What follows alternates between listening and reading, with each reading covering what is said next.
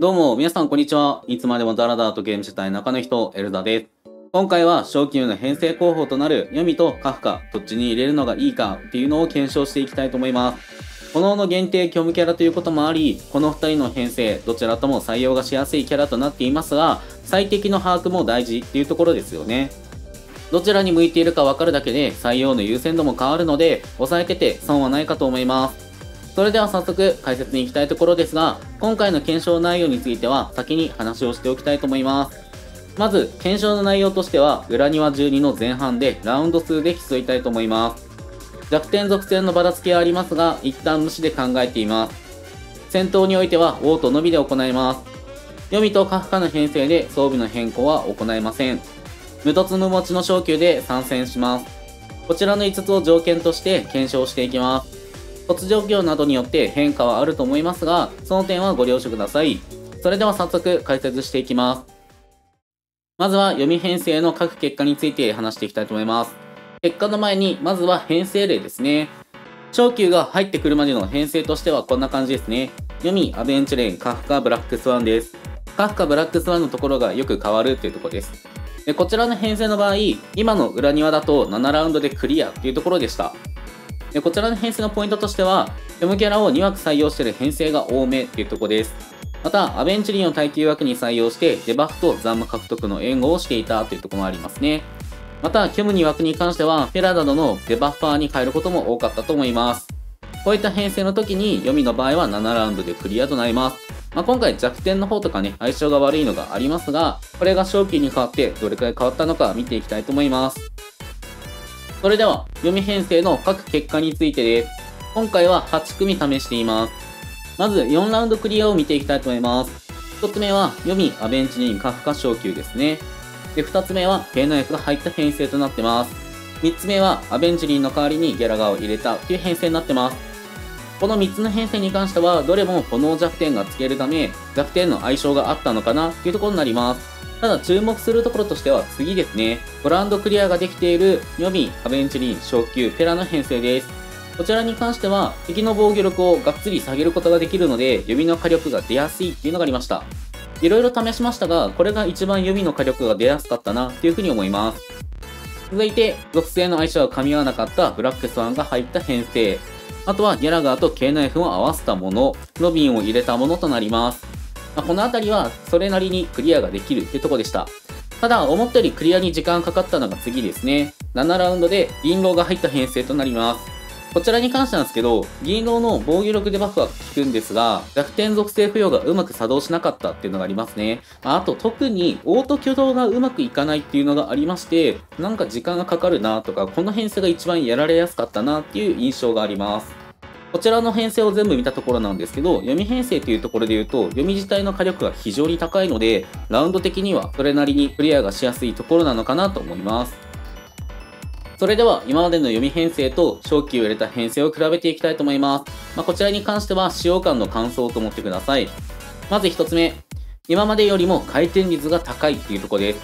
正気入りの編成の方が読みの必殺技の回転率は非常に高く相性が良かったです。オートの挙動ですが、それでもパッと見で必殺技の回転が速いのがわかるぐらい相性が良かったなと思いますね。ほんと回転率アップには繋がってたなと思います。続いて2つ目、弱点軸で考えるなら昇級を組むのはあり。この弱点の敵がいた場合は、昇級は虚無枠から外さず組ませるのがいいかなというとこです。残り1枠に関しては、カフカなど属性に合わせて組ませると安定したかなと思います。このカフカの枠で幅を利かせるっていう感じですね。それでは3つ目、属性を気にしないならペラを採用しましょう。デバフの性能が高いっていうことももちろんありますが、昇級と合わせれば敵の火ダメがアップしますので、予備の火力を出しやすくなったなと思います。まあ、予備の必殺技をガンガン回せるようであれば、敵の防御力自体を下げた方がダメージは圧倒的に高くなりますので、そういった意味ではペラの採用はいいかと思います。今回弱点がつけてないっていうのありましたが、ペラが入ったことでラウンドの短縮はできてましたので、採用としてはありだと思います。それでは続いて、カフカの編成の各結果について話していきたいと思います。まず、今までのカフカの編成例ですね。まあ、一番強いのがこちらですね。カフカ、ブラックスワン、ルワン、こことなります。弱点は尽きないところはありますが、6ラウンドでクリアというところになりました。まあ、こちらに関しては、裏庭と属性相性が悪いけど、クリア自体は問題ないっていうところですね。そういった汎用性が高いのもこの持続編成のいいところかと思います。あとは持続ダメージの蓄積が多くダメージも出しやすいですね。さらに、ルアンと頬に関してですが、バフと人生削りで火力の安定が取れるのと、SP の節約がしやすいのもポイントとなってます。意外と完成された編成っていうところだったんですが、ここに昇級が入ってくるとどうなるのかっていうのを見ていきたいと思います。それではカフカの編成結果ですね。今回編成かぶりというか、カフカの編成自体がそこまで広くないのもありますので、今回は4つで検証しています。担保が入ったりとか、ちょっと劣化した感じになりますので、あえて入れてません。では、見ていきましょう。まず、6ラウンドクリア、同等で言うと、カフカ、ルアン、昇級、ホホとなります。ブラックスワンと長級を入れ替えた感じになりますね。正直この編成は人生削りとかしやすいのがあったので、かなり相性が良かったように感じます。続いて7ラウンドクリアは、カフカ、K 内フン、昇級、ホホとなります。燃焼の起爆がしやすいっていうのがポイントですね。続いて9ラウンドクリアした編成です。カフカ、ブラックスワン、昇級、ホホとなります。意外と星5組があまり良くなかったっていう感じですね。ただ、これに関しては気になる点があるので、後ほど話していきたいと思います。最後、10ラウンドです。カフカン、ロビン、昇級、ホホとなります。こちらに関しては攻撃力バフをモリモリできるなっていうところなんですが、思ったよりもダメージが出なかったっていうところになります。ただこちらに関しても先ほど話した編成と一緒で、ちょっと気になるところがあるので、次で話していきたいと思います。それでは今までのカフカ編成と比べたとき、昇級より編成はどうなのか見ていきたいと思います。まず1つ目、ルアン入りの編成の方が強いっていうとこです。ルアン入りの編成の方がダメージや人生削りにおいてはかなり優秀でした。攻撃回数とかヒット数がそこまで多くなかったりもしますので、この2つの要素っていうのはかなり大事なんですよね。また、昇級に関しては火力がいまいちっていうところがありますので、チーム全体の火力で見た時に、ルワンの時よりも火力が上回らないっていうのがありましたね。で、バフとしてはめちゃくちゃ強いんですけど、火力が出せるかどうかって考えると、持続編成ではまた別っていうところでした。続いて2つ目。この弱点対策としては活躍できるっていうところです。ルアンとの相性がいいっていうのもありますが、ブラックスワンと入れ替え枠として採用するならありかなっていうところです。まあ、それもあって一番上にルアンが入った編成が入ってたわけですからね。そのことから、長級が登場する前の K 内粉のような使い方がベストなんじゃないかなと思います。長級に関しては K 内粉の強化版みたいな印象もありますからね、そういった使い方も適切なのかなと思います。それでは3つ目です。長級のオート適性が低いのも原因ってとこです。これは先ほどラウンドクリアが9と10の時にも気になる点って言いましたが、それがこちらになります。まず、昇級に関してなんですが、オート適性はかなり低く感じました。これ他のアタッカーとか今までのヒーラーとかで見た時に、めちゃくちゃ性能が悪いなって思いましたね。で、それに理由に関してなんですけど、弱点撃破中の敵だけをひたすら攻撃する。しかもこれ、通常攻撃なんですよね。で、スキルに関しても全く使わないっていうこともあり、かなり運要素が絡むなと思いました。かといって何回か試してるとスキルを適度に使うっていうのもありましたので、なんかオート挙動がもう少し整ってくるとこの辺りも変わってくるのかなと思います。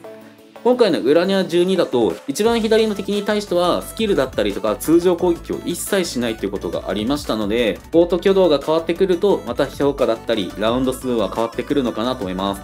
それを考えると付属編成の時とか特に手動での操作っていうのが求められるのかなと思いました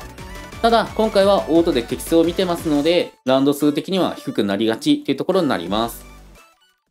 それでは最後、昇級を組ませるなら、読みとカフカどっちがいいのかっていうところについて話していきたいと思います。今回3つの項目で話していきます。ではまず1つ目です。基本的には読みがベストというところです。で、これに関しては、読みの方がデバッファー枠としては採用しやすいっていうのがありますね。まあ、採用のしやすさって意外と大事ですからね。で、こちらに関して使用してみて感じたのは、弓の戦闘効率がかなり上がるという点です。昇級なしでアベンチュリング不在の場合、敵のターンで残務を獲得するってことは非常に難しいんですよね。そのため、アベンチュリンを持っていなくても、昇級がいるだけで、回転率を大幅改善できるので、デバフの効果と残務獲得の視点から、読みの方が恩恵が大きいかなと思います。そのため、読みの方が無突無持ちならよりベストという気はしますね。続いて2つ目です。無突でカフカ編成の場合は、ルアンの代役か弱点対策として採用っていうのがいいです。持続編成の火力的には必須的なキャラではないっていうのがあるからですね。正直、昇級に関しては、無突だと火力がちょっと物足りないなっていう部分がありましたので、デバフプラス人生削り担当で入れるのがベストかと思います。そのため、ルアンの代役やブラックスワンとの入れ替え候補として採用するのが一番使い勝手のいい方法かなと思いますね。カフカ、ブラックスワン、小級、フォフォみたいな感じでわざわざ持続ダメージ編成を組むってことはしなくてもいいかと思います。それよりかはルアンを入れて性能をどんどん伸ばす方がいいのかなというとこですね。イメージとしては、K 内粉を入れる感じで編成に組み込むといいのかなと思います。それでは最後です。2凸でカフカ編成の適性が変わるっていうとこですね。ただし、持続編成のために凸をするかは考え物というとこです。一つに関してですが、長級は火力を出すなら、やはり2凸をしてダメ倍率を上げるのがベストかなと思います。まあ、プラス300%ですからね。カフカの持続編成でダメージを出しやすくなるっていうのも嬉しいポイントですが、読み編成においても燃焼によるダメージを出しやすくなるため、どっちにしてもいい効果かなと思いますね。まあ、どちらの編成の採用もしやすくなるっていうのもありますが、持続編成でより火力貢献ができるようになります。ただ、燃焼の持続ダメージに関しては、敵のターンだったり、カフカの起爆に影響を受けるところがありますので、ちょっと依存度が高い気はしますね。もちろん、超人の効果で燃焼ダメージが入ったりとかっていうのあるんですが、どうしても敵のターン依存だったりもしますので、この辺りは考えものかなと思います。まあ、基本的には読みに合わせておいて、読み編成で枠が余ってるなとか、持続編成使いたい時にこのキャラとして採用しようとかっていう感じで長期を使うのが一番いいのかなと思います。ということで、ご視聴の方ありがとうございました。このチャンネルでは今後も好きなゲームの解説やライブ配信をしていきます。引き続き動画をアップしていきますので、応援してくれる方はチャンネル登録、高評価をよろしくお願いします。それではまた次回お会いしましょう。バイバイ。